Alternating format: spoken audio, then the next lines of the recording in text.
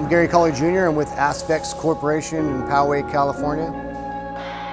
We found the need to, you know, need our own machines because we just kept getting let down, you know. Uh, you know, go to a machine shop and no matter what we were doing for us, we were a small customer for them and, and we kept getting let down. So what we did is we decided to buy a machine and started doing, you know, our research. And, you know, same thing, Haas, Mazak, talked to Okuma, Mori, and as we started going through that process, we just started outlining what, what makes sense for us, and we ended up going with a Haas lathe, and that's, that's what started for us, and how we got our first Haas machine.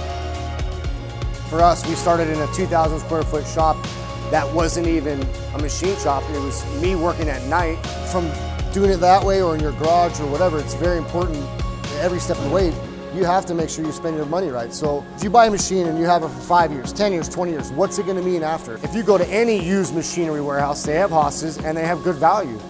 Now I feel confident that when Haas designs a new machine that we want and we're out of floor space because we have too many Haas's, we can sell one, get some good money out of it, and take some of that money and put it towards the next one and get keep keep getting advanced and getting the new stuff. There came some time when we started to do some very complex race car parts with some of our partners and like we see we see the future of needing 5-axis capability and and we were preparing ourselves for that and we went ahead and bought a UMC 750 SS uh, in preparation for getting those type of parts. Good timing because right after we had that machine, we were, we were booked for eight weeks immediately.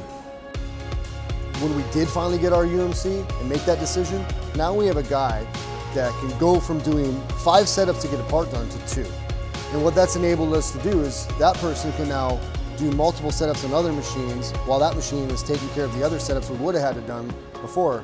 And that's the reason we got another UMC on the way. Ever since getting our first VF2, I believe we had the machine for two years and decided that it was important for us to start at, keep adding, utilizing Section 179. We, we've been able to bring a machine every year and every year it's a new Haas.